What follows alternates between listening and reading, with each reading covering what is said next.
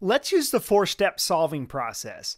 So, for our state step, we need our hypotheses, our significance level, and we need to define any parameters of interest. So we'll say we wish to test the following hypotheses at the alpha equals 0.01 level.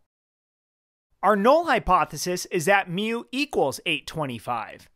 Since the manufacturer is probably interested in the brightness level being anything other than 825, either greater or less than 825, our alternative hypothesis is that mu is not equal to 825 and we'll define mu as the true mean brightness level of the manufacturer's CFL light bulbs.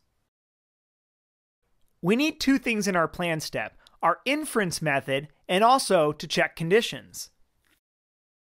So, if conditions are met, we will use a one sample t test for population mean. Our first condition is the random one. Now, these were 14 randomly selected bulbs, so that condition is met. Next is the independent condition. Since we're sampling without replacement, we need to assume the manufacturer has at least 140 bulbs for the 10% condition to be met. That seems like a fair assumption, so that condition is met. For the normal condition, since our sample size is only 14, it's too small for the central limit theorem to apply. So we need to check that the sample is roughly normally distributed. To do this, press the Stat button on the calculator. Now press Enter.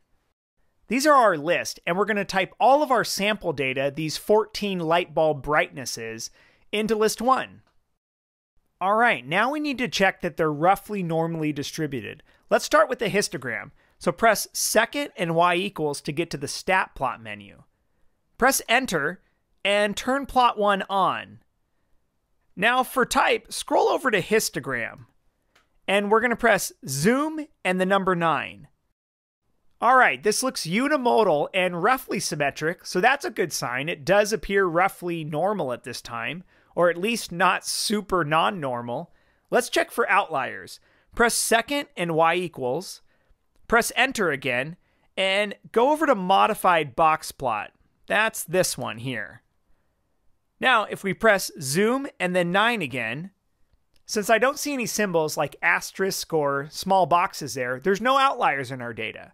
So between it looking unimodal and roughly symmetric and having no outliers, I'm comfortable saying this is approximately normally distributed. So it's safe to use T procedures.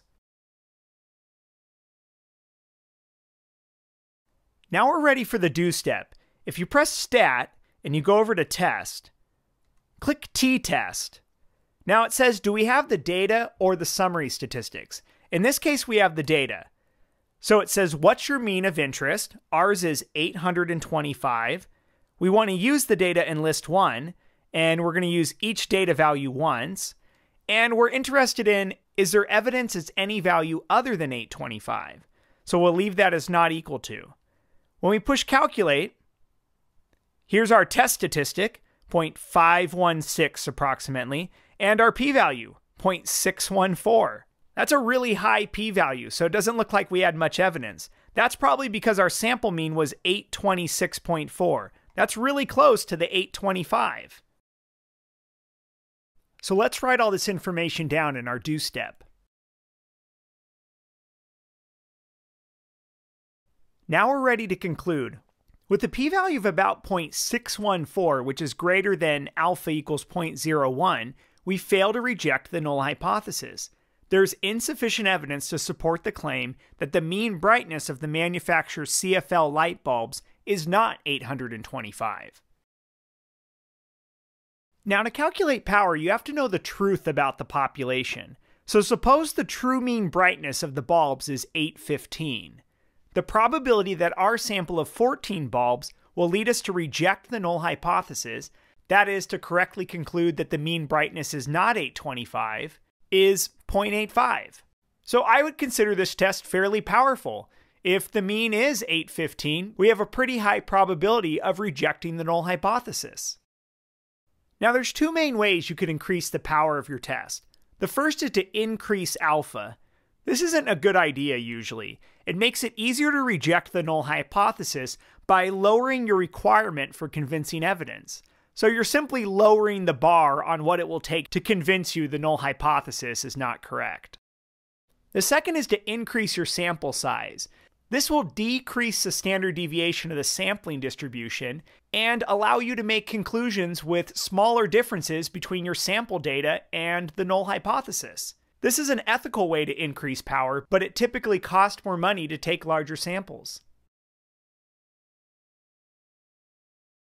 When the true mean was 815, our power was 0.85. That means 85% of the samples would cause us to reject the null hypothesis. So since 810 is even further away from the 825 we see in the null hypothesis, we expect even more samples to cause rejections of the null hypothesis. So the power would increase. Like this video? Check out my book, The Ultimate AP Statistics Practice Book. It's got 100 problems, all with videos just like this. You can pick it up on Amazon.com.